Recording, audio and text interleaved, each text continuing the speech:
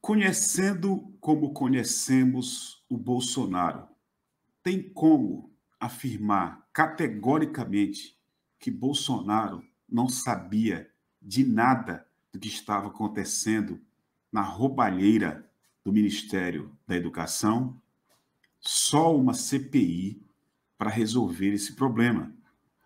Uma CPI pode investigar profundamente e mostrar que pode ter as digitais além do Bolsonaro, do Ciro Nogueira e do Arthur Lira, para falar apenas desses três. Em ano eleitoral, tem como blindar o Bolsonaro dessa roubalheira lá no Ministério da Educação? Para muita gente, é complicado. É o que nós vamos mostrar aqui agora para você. Núcleo de campanha monta estratégia para blindar Bolsonaro no escândalo de corrupção de Milton Ribeiro.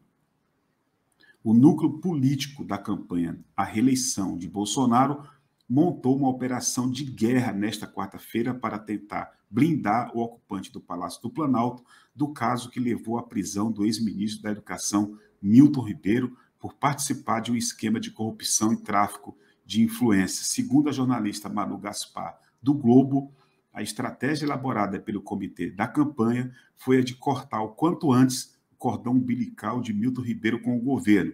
Na prática, depois de dizer que botava a cara no fogo pelo ex-titular do MEC, o chefe do executivo, presidente da República, o Bolsonaro, decidiu abandoná-lo à própria sorte. Então tá aí, vão tentar de todas as formas blindar o Bolsonaro no caso desse esquema de corrupção do MEC. Gostou do vídeo, por favor, comente, se inscreva, compartilhe, torne-se membro. Muito obrigado e até o próximo vídeo.